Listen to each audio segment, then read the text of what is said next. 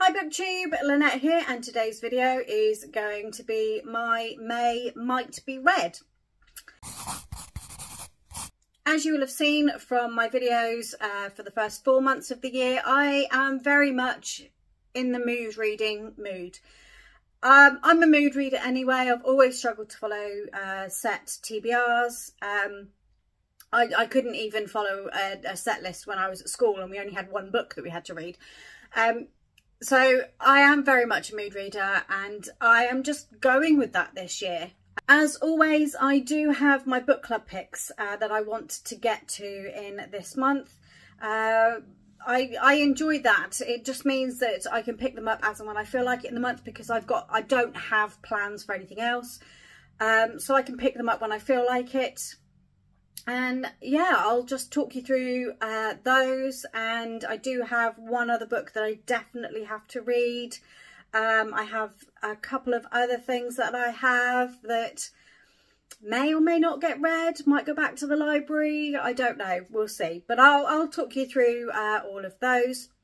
And I am taking part in a readathon this month I'll talk you through the readathon first of all. It's run by Lexie over at Books and Lexie. It's called Escape the Readathon and it's based around an escape room. Uh, four groups of people have arrived at this house. Uh, they are all there for different reasons and they are trapped inside it. And basically you just have to read books. You're locked in a room.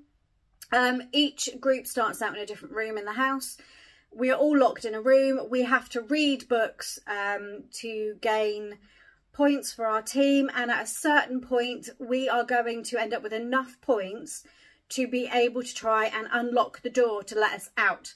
At the point that we have to unlock the door, we are given a prompt. There are no other prompts um, throughout the month other than the prompts we get when we need to unlock the door of the room that we're in. We will be given two prompts one of those prompts will unlock the door uh, and we don't know which it is. Um, Lexie and two other people are acting as ghosts. They are haunting us. Uh, three of the four teams every week are going to have points deducted because of the books that the ghosts read.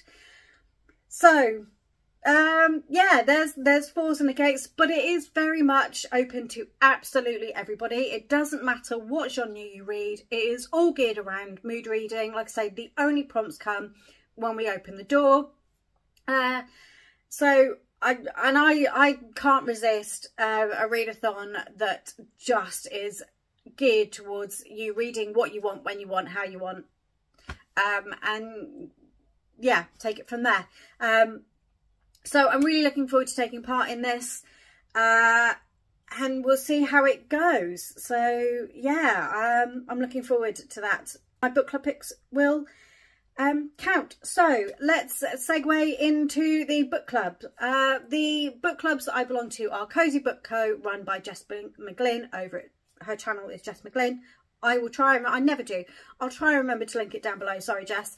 Um, and the other one is Literature Club, which is run by Steph over at Steph Loves. Again, try and leave all the links down below for you. Um, and those are the only two uh, books that I want to read, start during the month. Um, and I'll just talk you through what we are going to be reading.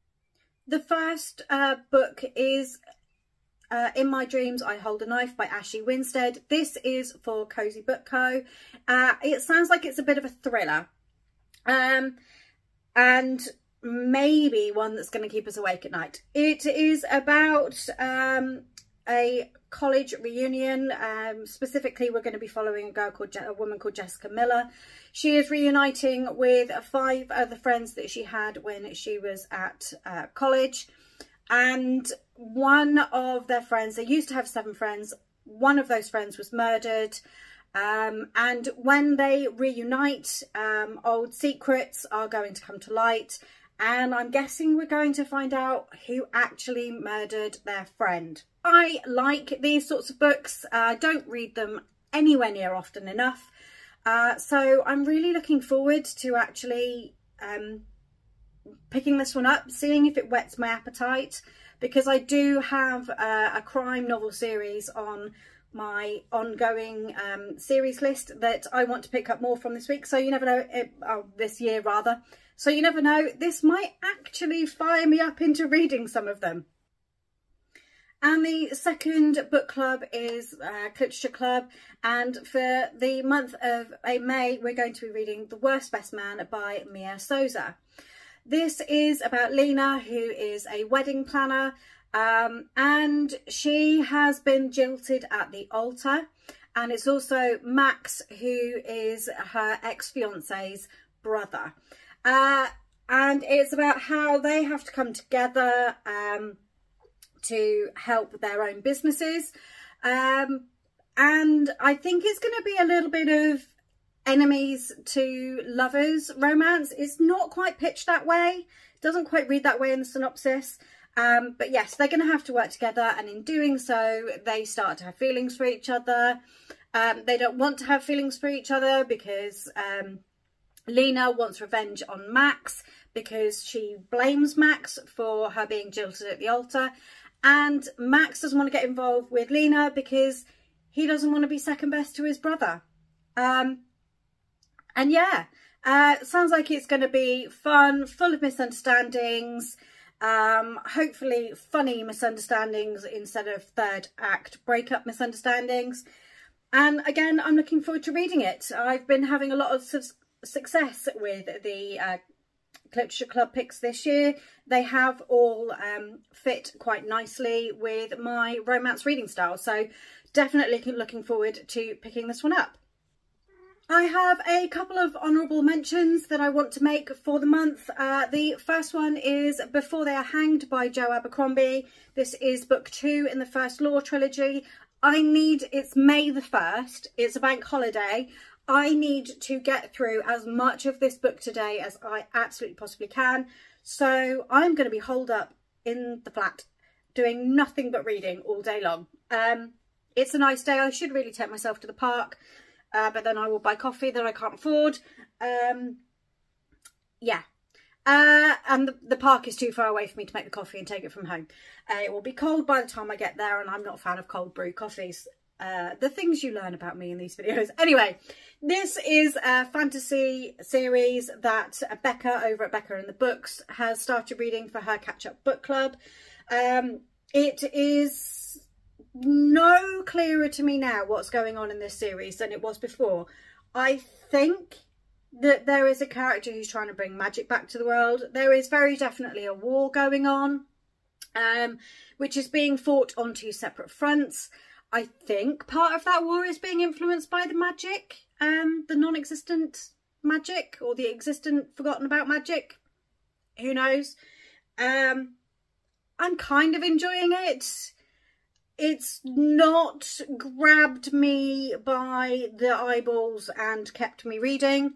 Um, however, I am about that far into it so far. Um, yeah, I'm, I'm, I'm about a third of the way in. I should be able to get a fair amount read. When I settle to it, it reads okay. It's just getting settled to it and I need to make myself do that, especially over the next few days. I have been utilising my library uh, quite a bit um, recently and uh, you'll find out in my wrap up that I decided to start a reread of a series that I picked up quite a few years ago um, and never carried on. I just wasn't in the mood for it at the time. But I'm going to hold up uh, volume four of Saga. This is a sci-fi graphic novel series. Uh, and volume four is where I need to carry on. I have volumes four to nine um, from the library. I was very greedy and went and took them all out in one go. Uh, volume 10 is on reserve. I don't know when I'm going to get that hopefully I'll get that during this month because uh, what I didn't say at the beginning of this video is as well as the um, readathon, uh, there is a round of final book support group right at the very end of May, um, the very final weekend in May. Uh, and if I can get volume 10 for then, I can read that for final book support group and knock um, a series off the list. Uh, but yes, I've got volumes four to nine that I need to read and take back. They're very quick reads. They take me about half an hour at most. Um, it's very much out of my comfort zone. It is about, um, the first couple of volumes are about uh, two people from um, alien races on different sides of a war that fall in love. They have a child. They are being hunted by both sides of the war. Um, and it's about that.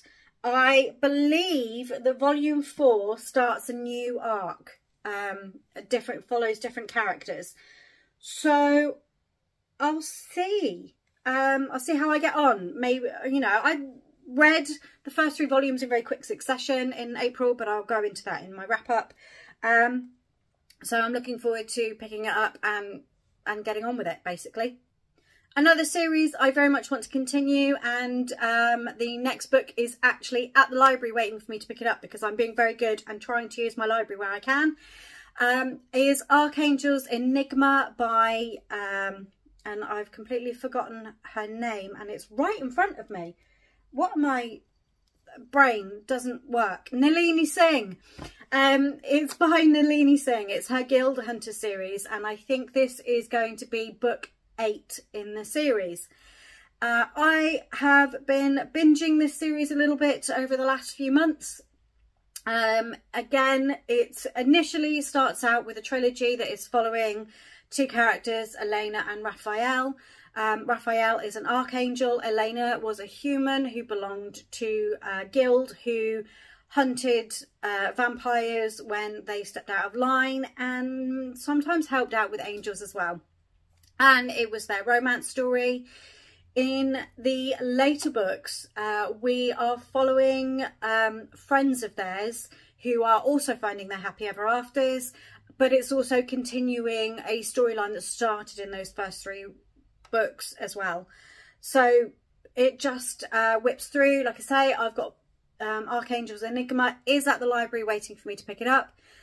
I am trialing a new audiobook service called Scribd. Um, the rest of the books, I think, are available on there and I'll see how I get on with those. Um, I'm just having a bit of an issue with that uh, service because of the way it does the listening speed. Um, it's either too slow or too fast for me and I just can't get my ears around it at the moment. Um, so I'll see how I get on with that. Other than that, it will just be, let's see what the mood takes me. Uh, like I say, there is a round of final book support group. It's a weekend round. Um, normally, when there's a round of final book support group, I dedicate the whole month towards reading it. Um, and I'm not sure. There was there there were a couple of series that I picked up in April, like I say, Saga, Guild Hunters. There are a couple of other series that I picked up in April that I want to continue with. There are other series that have been on my shelves long term um, that I want to continue with. Yeah, um, I just need to see how I'm feeling in the moment. Um, definitely first one that has to be finished is Before They Are Hanged. Um, and as always, I'll let you know how I get on at the end of the month. What are your reading plans for the month of May? Uh, let me know. Do you make TBRs or not? Um, I have seen that there are quite a lot of people who are just allowing the mood to take them. Um, and I think it's working out quite well for a lot of people at the moment. I hope you've enjoyed this video. If you have, please don't forget to give it a thumbs up. And if you're not already subscribed to the channel, I make videos on a semi-regular basis at the moment. You definitely get a TBR and a wrap-up from me, whether you get any additional videos. Um, April was a bit of an awkward month. Uh, my laptop broke, um, my videos corrupted, and I just didn't have the heart to refilm them because I would have had to refilm. Um, so yeah, hoping that May will improve, but we'll see. So yeah, I will see you all in the next one, whenever that may be. Bye.